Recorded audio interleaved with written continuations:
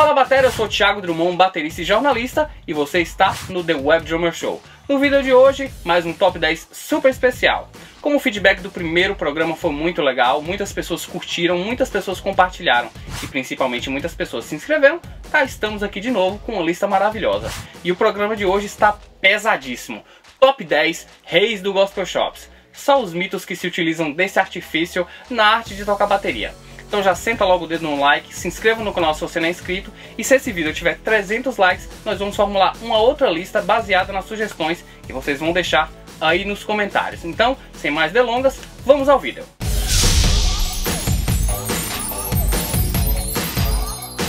E para quem não tem noção nenhuma do que eu estou falando, eu vou fazer um breve resumo. O termo Gospel Shops nasceu no finalzinho dos anos 90 e início dos anos 2000, nas igrejas americanas onde os músicos se reuniam, se encontravam para tocar e para estudar durante horas e horas. Daí também nasceu o termo Shed, que é quando esses músicos traçavam batalhas, onde cada músico ali mostrava todos os seus artifícios. Mas essa é uma batalha pro bem, onde só quem ganha é a música, né? E vale salientar também que o termo Gospel Shops não é aplicado apenas para bateria, ele é aplicado para todos os instrumentos que tocavam ali dentro da igreja. O Gospel Shops em si não é um estilo musical, e sim uma maneira diferenciada, um approach diferenciado, onde a musicalidade é levada ao extremo. E se tratando de bateria, com as viradas lineares, com os grooves matadores, e esse tipo de artifício tem sido usado e nasceu a partir da música negra americana, ali do R&B, do jazz, do soul e do funk. E hoje em dia, com a expansão e globalização do mercado musical, você pode conferir esse tipo de artifício em baterias de forró, de sertanejo, de pagode e de arrocha. Tem uma galera exagerando? Tem, mas isso é papo para o próximo vídeo, então vamos para a lista. Em décimo lugar, um ícone no que diz respeito ao Gospel Shops, Fred Boswell Jr. Nesse vídeo, ele improvisa sem pretensões e nos brinda com viradas espetaculares, clareza nas notas e um senso rítmico arrasador.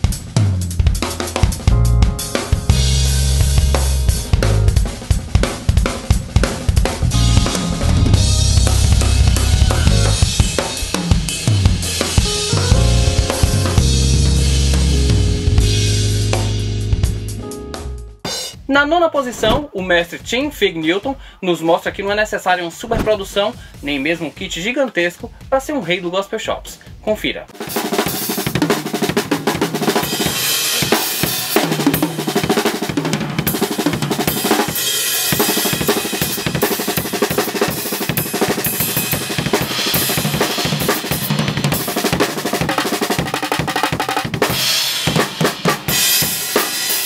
Inclusive, vocês podem encontrar um vídeo de Boswell e Fig tocando juntos em uma shed sensacional.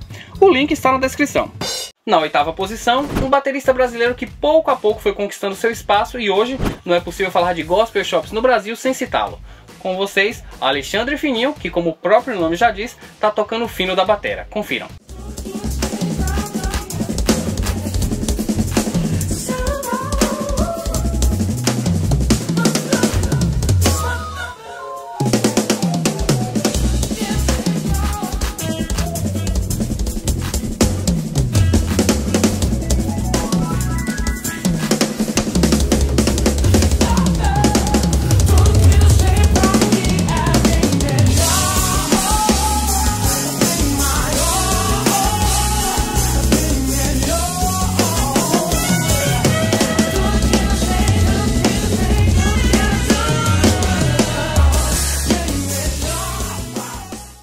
E na sétima posição, um baterista do Gospel Shops Raiz. Com vocês, Gerald Hayward. Bigodinho, chiclete na boca, groove avassalador, boné para trás e frases para apertar o juízo de qualquer um. É o tipo de cara que você não dá nada e quando vê, quer voltar para casa para estudar na mesma hora.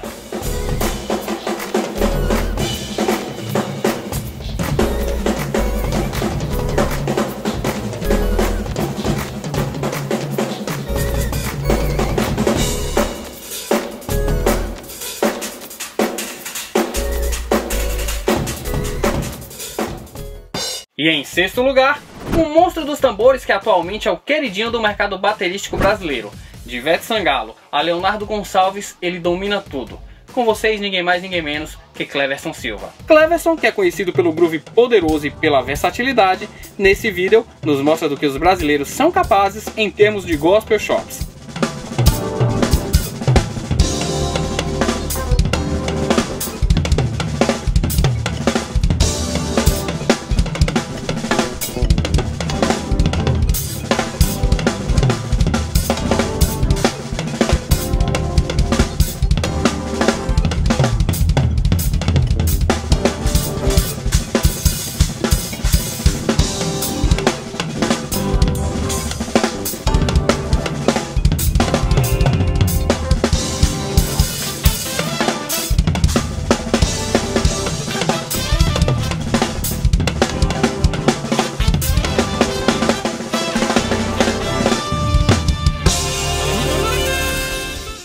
Em quinto lugar, uma verdadeira lenda que poderia liderar listas de bateras em qualquer parte do planeta e é também um dos precursores do Gospel Shops. Um batera que dispensa quaisquer apresentações com vocês, Tony Royster Jr.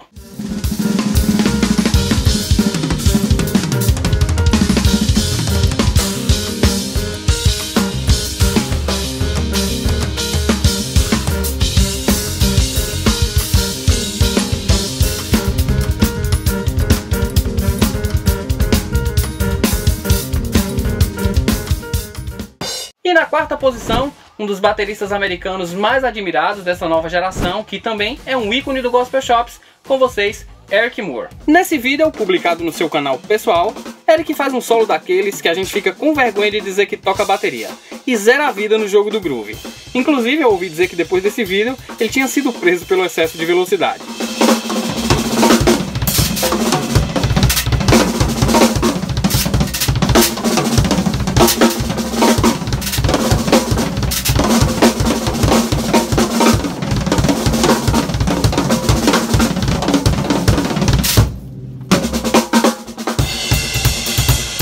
E só para lembrar, o link para todos esses vídeos completos está na descrição, então se inscreva. E entrando no nosso pódio, uma verdadeira pedra preciosa. Participante finalista do famoso concurso John Off nos anos de 2011 e 2012, dono de uma técnica de cair o queixo, esse merece tudo que está conquistando. Na terceira posição, Devon Sticks Taylor. O músico americano, que atualmente excursiona com ninguém mais, ninguém menos que Justin Bieber, nos mostra que técnica e carisma podem andar juntos. Esse é definitivamente o batera do momento.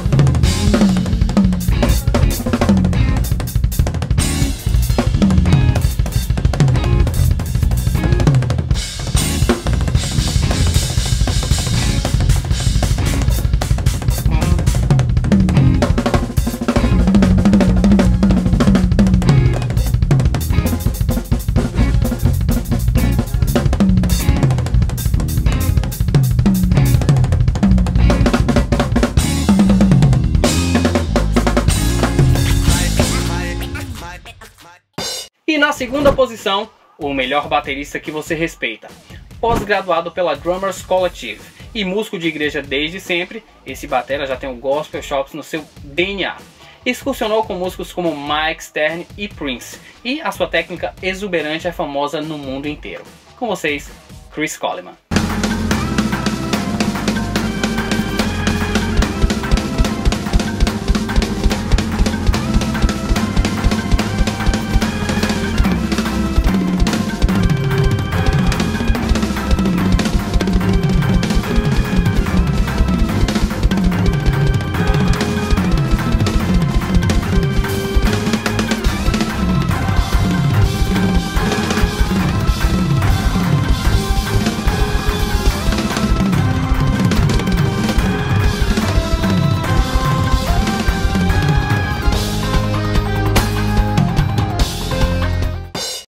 E em primeiríssimo lugar, o dono da zorra toda. Quando ele chegou no Gospel Shops era tudo mato. Quando ele foi revelado para o mundo, já chegou com os dois pés na porta e elevou o nome do Gospel Shops a patamares jamais imaginados. De quem estamos falando? Dele mesmo, Mr. Aaron Spears, que chocou a comunidade baterística no Festival Modern Drummer de 2006 e conquistou status de mito. Primeiro lugar.